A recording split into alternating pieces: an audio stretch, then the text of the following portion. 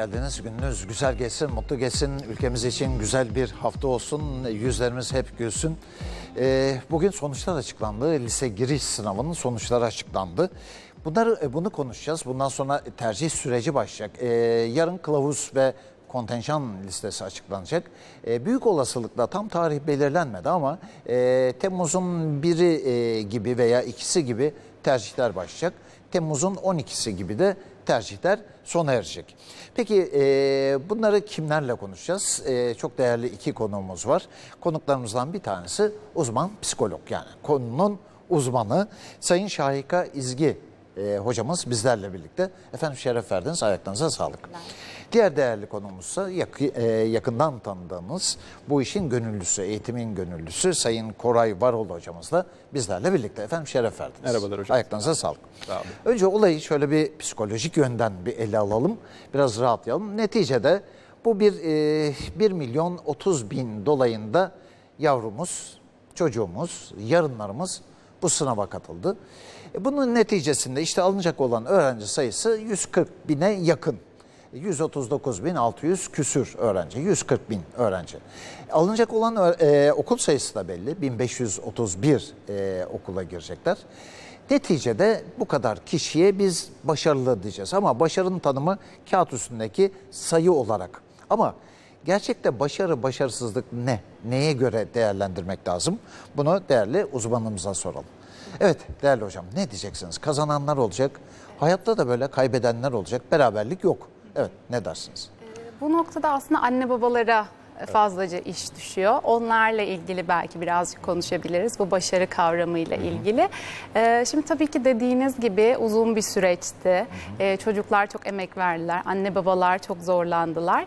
Ee, bu noktada önemli olan aslında başarıdan, başarısızlıktan bunun yanı sıra e, çocuğun gösterdiği çabayı takdir etmek.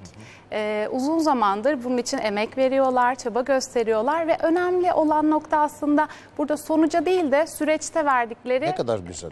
süreçte verdikleri evet, emeğe takdir etme noktası. Ee, çocuk şunu hissetmeli. Ne olursa olsun anne babam benim yanımda, beni destekliyor. Başarısız da olabilirim, Ee, hedefine ulaşmamış da olabilir. Ama anne babasının desteğini, onu koşulsuz sevgiyle, güvenle karşıladığını bilmeli. Bir de bu maraton yani tek bir sınavın neticesine göre e, hayat kazanılmıyor. Tek bir sınavın neticesine göre hayat kaybedilmiyor öyle değil mi? Evet, Bu bir bütün ortalamaya bakmak lazım esas. Aynen öyle. Yani e, yaşantısal e, olarak çok fazla sınanıyor çocuklar, yetişkin olarak herkes.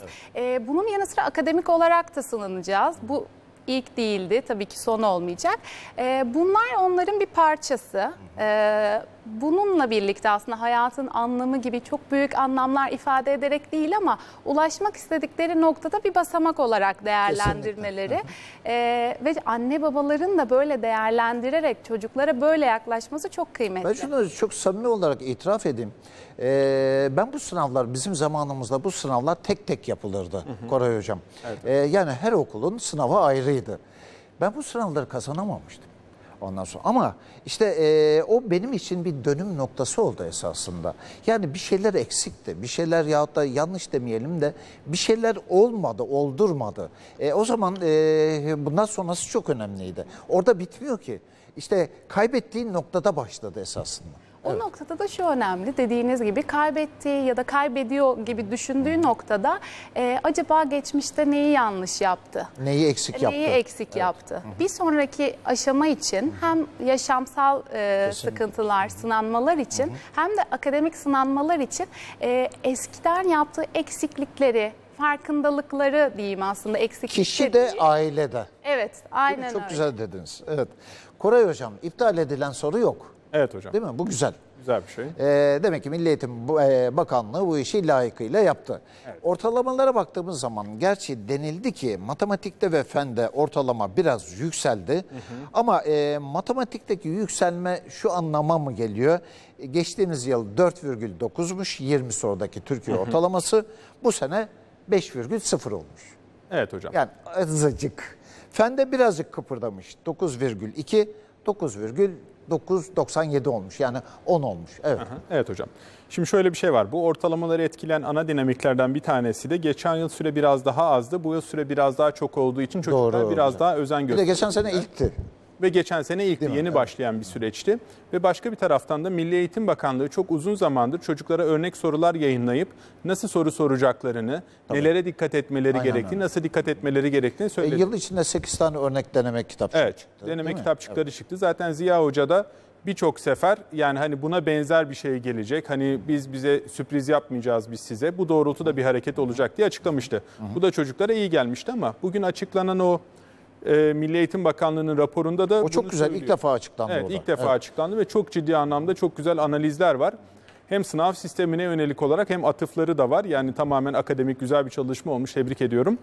Orada da hem süreyle ilgili olarak söylüyor hem gelişim sürelerine ilgili olarak söylüyor hem de matematikte neleri değiştirmeleri gerektiği, nasıl değiştirmelerine gerektiğine dair de bir çalışma matematikte falan boş bırakılan soruların azaldığı, Evet. bu e, konuda bu araştırmayı yapan ve bunun öncüsü olan Mahmut Özer hocamızı da tebrik ediyoruz. Önceki ÖSYM başkanımız. Oradaki alışkanlık aynı şekilde milli eğitime de e, aktarılmış. Gayet güzel olmuş. Evet. Evet gerçekten güzel bir çalışma oldu. Çocukların durumunu daha iyi anlamak, sınav sisteminin kendi içindeki geçerlilik ve güvenilirlik derecelerini arttırmak adına güzel bir çalışma. Zaten yan tarafında da onların sapmaları var. Yani sınavın kendi geçerlilik oranlarını ölçüyor ve onların da hepsinin yasal olarak ya da akademik Bu olarak arada naçizane matematik uzmanı olan, e, öğretmeni olan sizsiniz ama e, 1 milyon 30 bin e, öğrenci bu sınava katılmıştı. Şimdi yüzdelik dilimler var e, size gelen sonuçların orada. Peki sıramız ne? Neyle çarpacağız? 10 bin 300 ile çarpacaklar. E, yüzdelik sırasında çocuğun 10 bin 300 ile çarparlarsa e, çocuğun kaçıncı sırada olduğu da e, rahatlıkla ortaya çıkabilir. Orada bir minik bir şey eklemek Buyurun. istiyorum Sayın Hocam. Şimdi %10'luk bir dilim seçilecek olan, okullara girecek olan bir süreç var. Şimdi geçen yılda ben bunu yine bahsetmiştim ve benim dediğimde gerçekleşti. Buradaki hassas nokta şu. %10'luk dilimdeki çocukların gireceği kadar okul var ama çeşitli özel okullara öğrenci kaymasıyla bazı çocukların farklı okulları tercih etmesiyle %10 kaça iner? %17, %18'e Oraya öğrenci kadar. alınan yerler var. Yani bunlar da yasal olarak da bütün sistemlerden incelenebilir. Yani bir aile %14'lük, %15'lik dilimdeyse devlet okullarında da yine şansları var. Hangi okul olur onu bilmiyorum ama %16'dan %17'den de öğrenci alındığını biliyorum. Güzel. Güzel bir Yani bu ipucu oldu. önemli bir şey. Tamam, Yani bir tek çok güzel. %10'un üstündeyse canları o kadar sıkılmaz. Evet. Peki Şahik Hocam hani e, okul seçiminde biz e, esasında iyi olsun diye istiyoruz. Bazen de kendi isteklerimizi gerçekleştirmeye çalışıyoruz ebeveynler olarak, veliler olarak. Çok da yargılamamak lazım esasında ama bir de dikkate almamız gereken yavrumuz var. Onun yetenekleri, ilgisi, e, alakası, başarısı, mutluluğu bir uzman olarak ne dersiniz? E, tabii tercih yaparken e, yani akademik tercihlerde de diğer hayata dair tercihlerde de e, aslında çocuklar da kendi kararlarını verebilecek en azından bir fikirleri olabilecek yaşta oluyorlar bu dönemde de. E, bizim demokratik aile tutumu dediğimiz yani karar verme süreçlerinde anne baba kadar çocuğa da söz hakkı tanınan yapılarda Özgüven de kazandı. Evet, özgüven, sorumluluk. Sorumluluk çok altını çizmemiz gereken bir nokta burada. Çünkü demokratik bir yapıda çocuk kendi fikrini söylediği için bununla birlikte bir karar alındığı için verdiği kararın da sorumluluğunu almaya yatkın oluyor. Ee, burada da karar verirken aslında ortak bir fikir birliğiyle anne babanın bir fikri vardır, çocuğun bir fikri vardır. Zaman zaman bu fikirler çatışabilir. Ee, herkes neden istiyor bunu? Çatışsın ki doğruyu bulalım. Evet. Değil Hı mi? hı. Evet. Aynen öyle ama burada tabii çocuğa alan açmak, kendisini ifade etmesine izin vermek, anne babaları uyaracağım. Ama her şeyi de akademik başarıya indirgemek, puana indirgemek çok da sağlıklı olmasa Tabii. gerek. O noktada çocuğun ilgi alanı, yetenekleri, e, bir de bunun yanı sıra tabii lise dönemi kariyer planlamada önemli bir basamak. kesinlikle. E, o noktada da ileride ne meslek yapmak istiyor? O mesleği yapan mensuplar acaba şu anda hangi liselerden mezun olmuşlar gibi ulaşabiliyorlarsa, iletişime geçebiliyorlarsa belki onlarla iletişime geçip bir yol haritası çizmek e, tercihlerine etkili olur diye Güzel. Peki e, tercihleri yaparken Evet. önce bir özel okulların tercihi alınacak. O bir ortadan çıkartılacak. Ondan sonra devlet okulları. Ondan sonra tercih. devlet okulları. Buradaki süreç nasıl işleyecek? Ee, hocam şimdi bir iki gün içerisinde Bakanlıkla Özel Okullar Birliği'nin görüşmesiyle birlikte takvimler açıklanacak. Öncelikle özel okullara kendi puanları açıklamaları için bir süre verilecek. O süreyi açıkladıktan sonra biz hepimiz o özel okulların puanlarını görebileceğiz. O özel okulların yukarıdan aşağı doğru sıraladığımızda özel okullar var. İyi denen özel okullar var. Ve oraya yönelik olarak bütün Türkiye'den online başvurularla çocuklar, aileler ön kayıt yapabilecekler. Şimdi bu noktada oraya yapılan kayıt miktarı, ön kayıt miktarı bizim için önemli bir değişkendir. Ama onların büyük bir kısmı gerçekleşmezler. Gerçekleşmedikten sonra okullarda boşluklar kalırlar. O boşluk miktarı bizim için önemlidir. Bunun sonucunda özel okulun ne kadar puan düşürdüğü önemlidir. Ee, okulların en tepedeki puanlı çocuklar en az 4-5 tane okula ön kayıt yaptırdıkları için sıralama olarak 4. 5. sıradaki okullara ilk seferde zaten sıra gelmez. İkinci seferde sıra gelir, üçüncü seferde sıra gelir. Bu noktada ailenin süreci iyi takip etmesi, o takip ederek de nelerin değiştiğini, nasıl değiştiğini anlaması ve son tercih döneminde de o kapıya giderek beklediğimiz bir dönem var. O dönem içerisinde orada aktif olarak onu beklemesi Burada şöyle önemli. bir esprili durum ortaya çıktı. Bu tarihe kadar biz çocuklara dedik ki hep çalışın. Şimdi çocuklar çalıştılar. Bir sonuç elde ettiler. Şimdi sıra bize geldi. Evet. Ve bu sefer de biz çalışacağız. Ee, bu tercihleri biz kovalayacağız. Evet. Gerekirse kapıda bekleyeceğiz. Evet. Şimdi de çocuklar bize çalışın diyecekler. Evet. Ee, peki özel okullardan birine yerleşen yahut da kayıt yaptıran daha sonra bu e, hani sınavla girilen okullara başvurabilir mi? Yoksa o defter tamamıyla kapanmış Hocam mı olur? e-okul üzerinden kayıt yapıldığı için e-okul kaydı tamamlandıktan sonra süreç kapanıyor. Bitiyor. Daha önceki dönemde yaklaşık olarak 6-7 yıl önce ikisi beraber oluyordu. Bu noktada devlet okullarında ciddi kontenjan boşlukları oluyordu. Ve Ekim-Kasım aylarına gelindiği zaman bile bazı sınıflarda boşluklar oluşuyordu ve kazanabilecek çocukların hakkı yenmiş oluyordu. Bundan dolayı Milli Eğitim Bakanlığı bir açıklama yaptı ve sistemi iki ayrı sistem olarak düzenledi.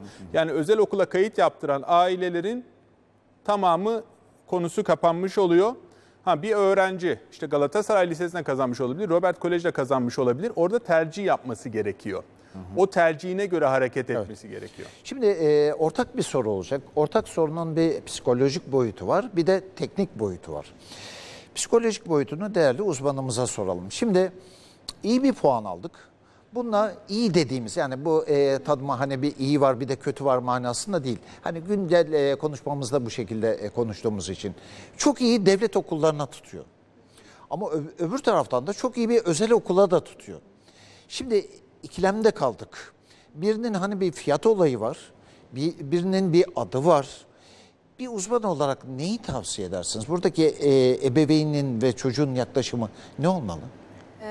Aslında tabii ki akademik olarak iyi olarak bildiğimiz, iyi atfedilen okullar var. Ama bu e, çocuk için ne kadar uygun noktası çok kıymetli. E, bunu anlayabilmek adına e, önce gidip iyi olduğunu düşündüğü ve puanının ona yeterli olduğunu düşündüğü okulları aslında yakından tanımak, eğitim programlarını, içeriklerini, e, orada öğretmenlerle belki web sitesi, e, çalışan herhangi birileri varsa bunlar iletişime geçip çocuk için iyi olan taraflarının neler olduğu belirlenmeli ve öyle e, aslında karar verilmeli. Evet. Peki teknik olarak Hocam ailenin okula giderek okula çok ciddi anlamda sorular sorması lazım. Ben bu okula gelince neleri öğreneceğim, bu okuldan çıkanlar neler yapıyorlar, benim bu okulu çocuğumu bu okula vermemin avantajları nelerdir, siz bizden neler bekliyorsunuz bunları araştırmak lazım. İnternette de artık çok ciddi anlamda bilgi var. O okulla ilgili olarak en az 100-110 tane bilgi araştırdıkları zaman ve çocuğunu okulu götürüp de orayı gezdirdikleri zaman, oradaki havayı koklattıkları zaman mümkünse orada okuyan öğrencilerle konuşturup sen tekrar aynı okula başvurur muydun, bu okulun iyi yanları neler, bu okulun zor yanları neler diye konuşulduğu zaman çocuğun çok ciddi anlamda bilgi birikimi artıyor. O zaman tercih daha kolay, daha anlamlı ve daha verimli hale geliyor. Evet. Süremizin sonuna geldik ama her türlü soru veya sorununuzu bize iletebilirsiniz. Doğru tercih ntv.com.tr adresimiz. Bu arada çok kısa sürede oldu ama çok kısa bir e, bilgi daha vermek istiyorum ki burası son derece önemli. Sadece e, bir e, yüzdelik dilim bir olan adayın son 3 yıldaki e, şeyi puanı kaçmış. 2016'da 488 puana tekabül ediyormuş. Yüzde birlik dilim. E, 2017'de e, 493'e biraz yükselmiş. Geçen sene 424'e inmiş. Bakın aradaki fark ne kadar fazla. Bu senede yüzde birin karşılığı artık ona e, şeyde e, bakarsınız. Mesela bir örnek daha vereyim. 3,8 yüzde 3,8. 2016'da 472'ymiş. 2017'de 483'müş. Geçen sene 385 puana tekabül etmiş. Böylesine değişkenler var. Evet, bize ayrılan sürenin sonuna geldik. Tekrar birlikte olmak ümidiyle esen kalın efendim.